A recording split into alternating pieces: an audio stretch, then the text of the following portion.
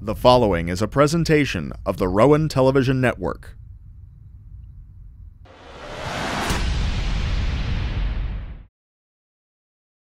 Simmons, he drops back to fre- uh, excuse- not freshman, excuse me, to Connor McEwen, and McEwen's able to pop that one in. Right here on the replay, there's McEwen. The stick breaks, and then you see coming in from the back right there. Here goes Anthony Delrose, rookie.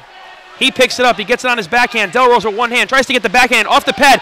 He gets it right over to McGovern. McGovern off the pad again. A Sullivan, two big saves. As you see here, two on one here early for the Seahawks. Pass across. Good save by Natty Ellos. He gets across in the split formation to make the save on the and here goes an odd man opportunity for the profs. It's the Steffi twins. Frank over to Anthony. Anthony shot scores. The Steffi twins combine for a goal right there, and the profs take a three to one lead. And that's a good job there. You know, parents, viewers, and even potential players. We see Popovich with an odd man opportunity. He sends it back. Good shot there by Caniglio, and a good blocker save by Nadiello.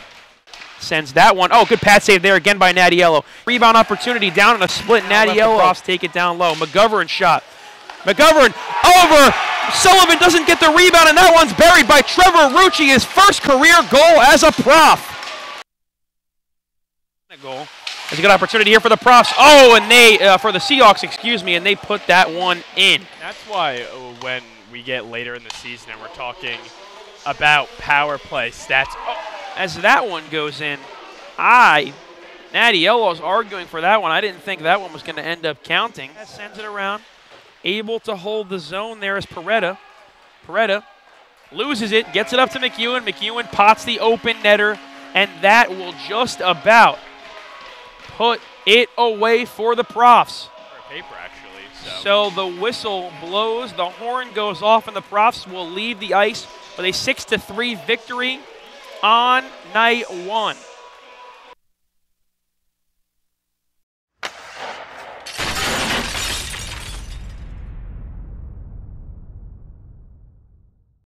This has been a presentation of the Rowan Television Network.